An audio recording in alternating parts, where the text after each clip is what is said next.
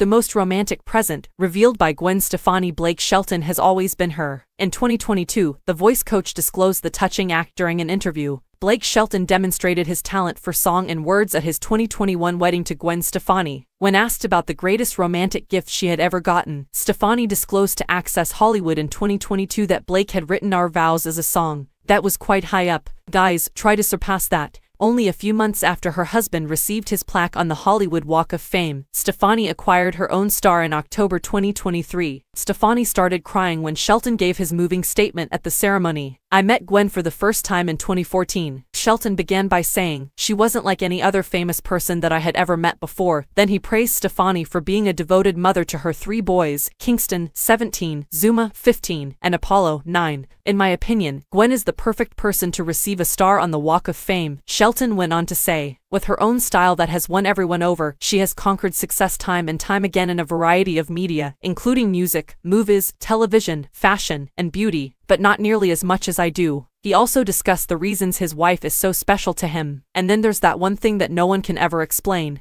He continued, It's that quality she possessed from birth that will cause you to pause and ask, Who is that? Name of the woman, how does she behave? How come I already love her? How in the hell? God gives you something, and there's no doubt that he gave Gwen an additional helping of it. But what makes me the happiest for Gwen is that this whole thing started with a song that she wrote. Shelton continued, her favorite pastime is creating songs, she also just so happens to be very talented at it. Across 99% of the songs of Gwen Stefani's repertoire, from her solo albums to the early No Doubt days, there is one thing in common, Gwen Stefani is the songwriter. Gwen's ability to write songs has, in many ways, been a blessing in the lives of many. I can attest to the fact that many individuals work together to produce a successful album, but without songwriter Gwen Stefani, none of this would have been possible. Thus, congrats to On Your Star, my all-time favorite songwriter. I adore you, and you deserve this.